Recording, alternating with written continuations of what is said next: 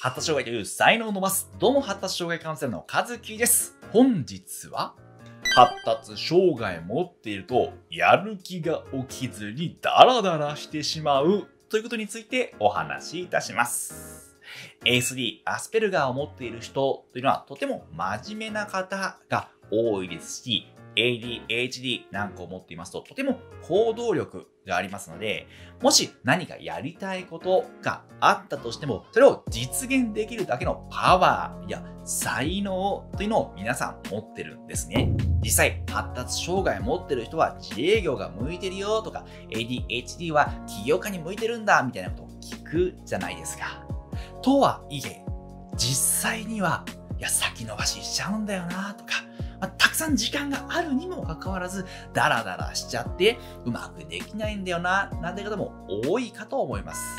実際、僕なんかも本当に油断してしまいますと、YouTube をダラダラ見ちゃうとか、もう楽な方に流れてしてしまうみたいなこと、やっぱあるわけですよ。なので今回は、じゃあなぜ発達障害を持ってる人はダラダラしてしまうのかという理由と、その対策なんてことをお話しさせていただきます。今回のお話しすることということを意識して、今では僕は5つぐらいの事業を変え、それなりの売り上げの上がる会社を作ることができましたので、ぜひ参考にしていってください。というわけで、発達障害を持っている人がダラダラしてしまう理由、まず1つ目が、動き出すのが苦手ということです。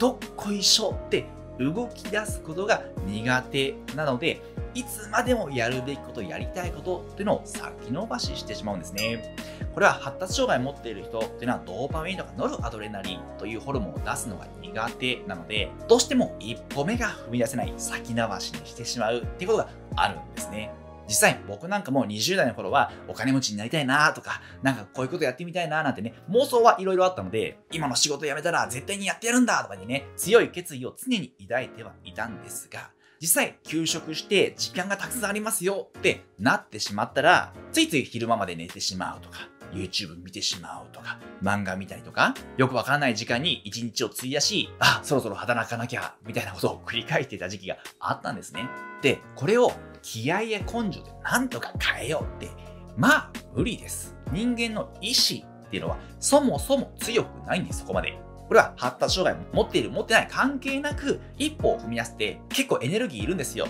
だからこそ、もし本当にやりたいことがあるんですというのであれば、ある程度ケツを叩いてもらう必要があるわけです。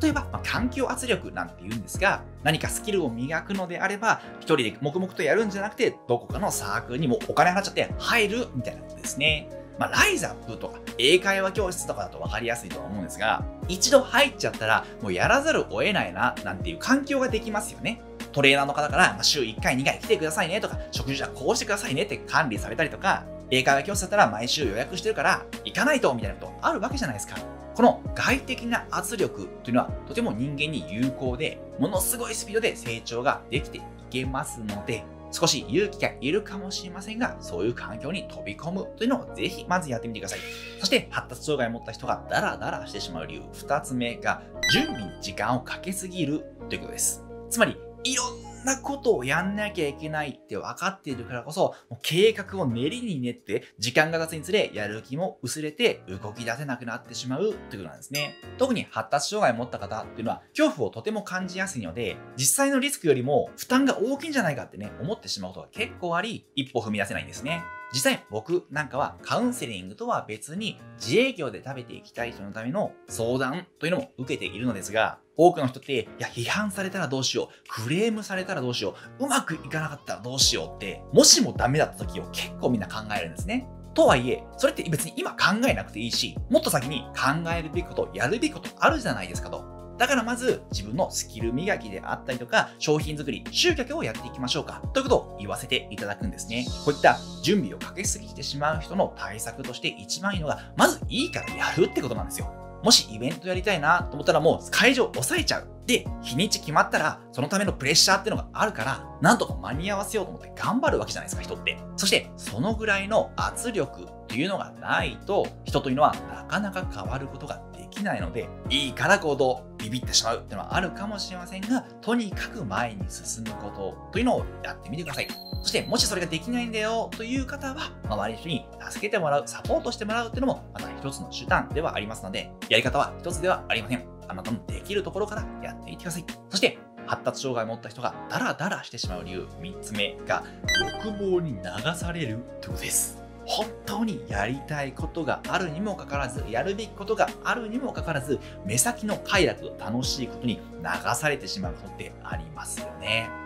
これは発達障害時の抑制機能の弱さつまり我慢をすることの弱さから挙げられます例えば日常的なことで言うのであれば、日曜日の朝、お休みで、まあ、朝早くから出かけたいな、なんて思うんだけども、一度携帯ダラダラ見始めちゃったら、気づいたら2時間、3時間、夕方とかなって、うわ、やりたかったことできなかった一日終わってるよ、みたいなことありませんか？そう、一度楽しいことやりだしたら、ブレーキ効かないんですよ。これほんと厄介で、この特性がゆえに発達障害で困ってるっていう方、結構多いんですね。じゃあ、これどうやって対策打てばいいの？というと、もう先ほどと申し上げたことと基本的に変わりません。まず予定を入れるといった環境圧力を使ってください。僕の場合、朝に絶対予定を入れるようにしてます。例えば、朝早くから英語の先生にレッスン入れてもらって、ちょ、起きないとやばいなと。もし遅刻して行けなかったら、キャンセル料取られちゃうしな、みたいな圧力があるから、あ、ちょっと眠いなと思っても起きるようになるわけです。また、実際カウンセリングに来られる方なんかは、朝早めに僕とのカウンセリングを入れて、起きるようにしてるなれ方もいらっしゃいますので、ま、もし僕でお力になれるようであれば、全然